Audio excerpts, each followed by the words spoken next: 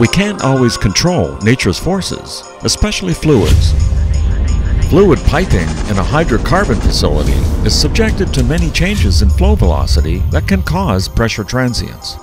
Managing these pressures in such a facility is a safety and ecological challenge in this increasingly regulated field.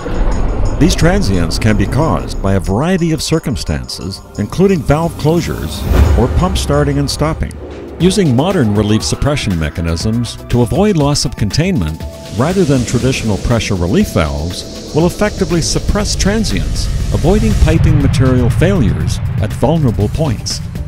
Engineers can now eliminate loss of containment using an innovative design, bladder surge tanks, instead of traditional designs such as pressure relief valves. Bladder surge tanks absorb transient energy rather than releasing fluid as a pressure relief valve would function.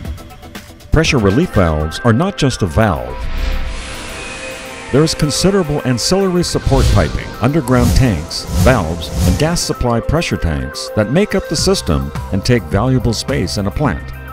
As pressure transients exceed the valve set pressure, the valve will suddenly open to atmospheric pressure.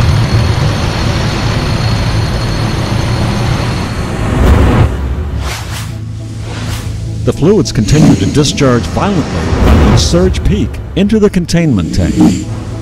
As the tank fills, hydrocarbon vapors will discharge into the atmosphere. Even though the pressure relief valve discharges, this does not prevent transient conditions in other locations of the pipeline. As a result, overpressurization can still occur in the pipeline. A more innovative and effective solution is a self-contained bladder surge tank. The bladder surge tank uses less space and constantly reacts dynamically to transient pressures with zero loss of containment.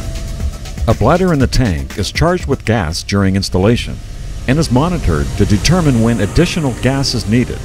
The bladder is the only moving part, absorbing pressure transients and allowing a nearly maintenance-free design. In the unlikely event of a breach in the bladder, the gas will still be contained in the tank to effectively function to absorb transient conditions until replaced later.